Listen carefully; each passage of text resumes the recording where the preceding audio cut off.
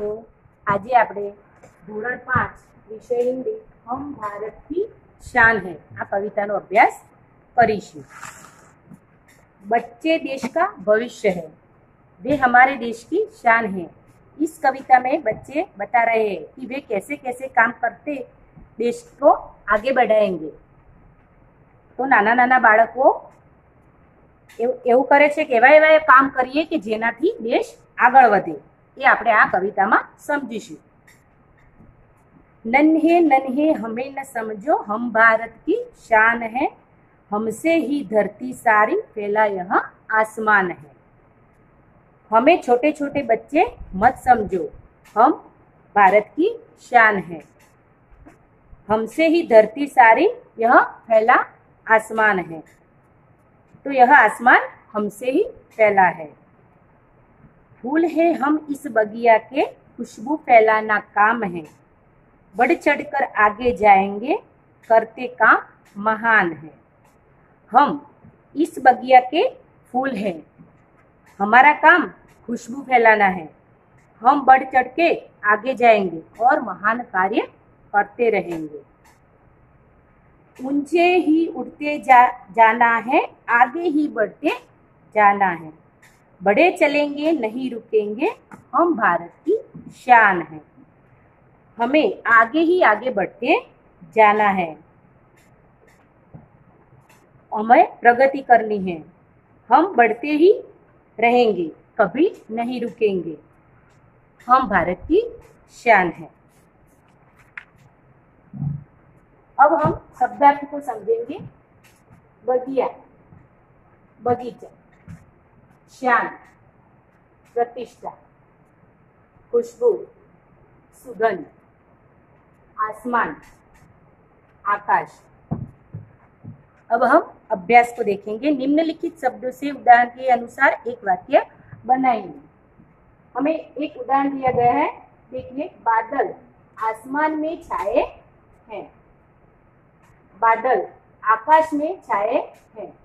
आस, आसमान इसका समानार्थी शब्द है आकाश। ऐसे ही धरती धरती पर हरियाली छा गई। दूसरा वाक्य है, पृथ्वी पर हरियाली छा गई। धरती का समानार्थी शब्द है पृथ्वी। दूसरा है बगिया।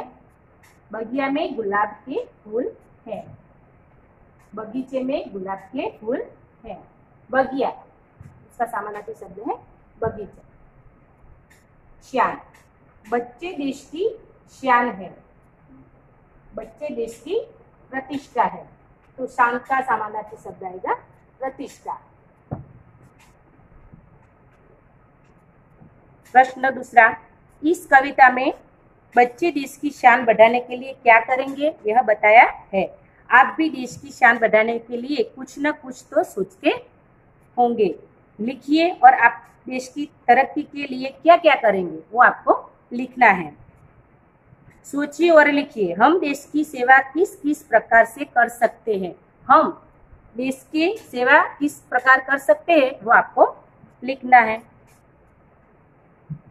रेखांकित शब्दों पर स्वभा देकर वाक्य पढ़िए। मेरा विद्यालय सुंदर है। तो इसमें मेरा शब्द पर बार दिया गया है।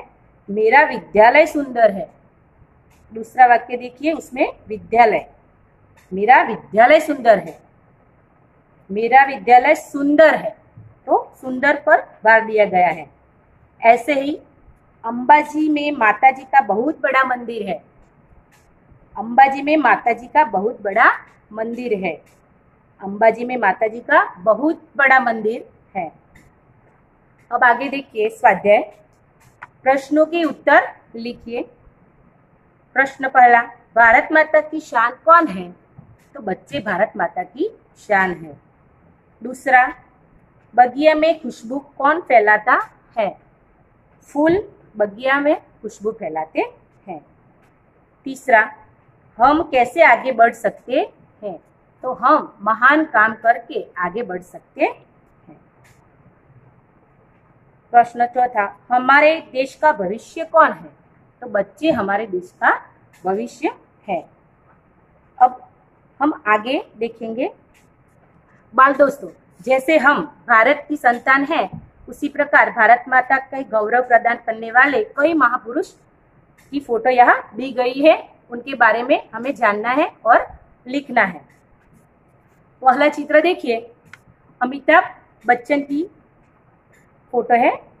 उनका जन्म 11 अक्टूबर 1942 में इलाहाबाद, उत्तर प्रदेश में हुआ था। पिता का नाम हरिवंश राय बच्चन, माता का नाम तेज़ी बच्चन। उनका मुख्य कार्य था अभिताभ भारतीय फ़िल्मों में एक अच्छे एक्टर थे। वे भारतीय संसद में सांसद भी रह चुके हैं। उन्हें पद्म भूषण जैसे कई सम्मान भी प्राप्त हुए हैं। दूसरा देखिए श्री लता मंगेशकर। ये मेरे वतन के लोगों, वो गीत तो आपने सुना ही होगा। वो उन्हीं ने गाया है। उन्हीं का जन्म 28 नवंबर 1919 जन्म स्थल इंदौर, मध्य प्रदेश। पिता का नाम दीनानाथ मंगेशकर। मुख्य मुख्य कार्य था लता जी अच्छी गायिका थी। उन्हें भारत रत्न से सम्मानित किया गया है और वो बहुत अच्छे गीत गाती है। तीसरा चित्र है श्री मदर टेरेसा। वो समाज सेवी थी। जन्म 26 अगस्त सन 1900 उनकी मृत्यु हुई 5 सितंबर उन्नीस सौ सत्तानवे। जन्म स्थल स्कॉर्पियो, युगोस्लाविया। उनका मुख्य कार्य उन्होंने भारत आकर कोलकाता से मछली प्रवृत्ति से हिस्सा लिया। पहले गरीब, दुखी, बीमार लोगों के लिए कार्य किया। बाद में अनाथ बच्चों के लिए आश्रम और विद्यालय शुरू किया। मदर टेरेसा को नोबेल पीस प्राइज और भारत रत्न जैसे सम्मानित किया गया था। अब हम आगे देखेंगे। डॉक्टर विक्रम साराभाई। जन्म बारहवीं अगस्त उन्नीस सौ जन्म स्थल अहमदाबाद। पिता का नाम अंबालाल साराभाई। माता का नाम सरला देवी। मुख्य मुख्य कार्य था भारत के महान वैज्ञानिक थे। अहमदाबाद में लोक विज्ञान केंद्र एवं अटीर नाम की संस्था स्थापित हुई।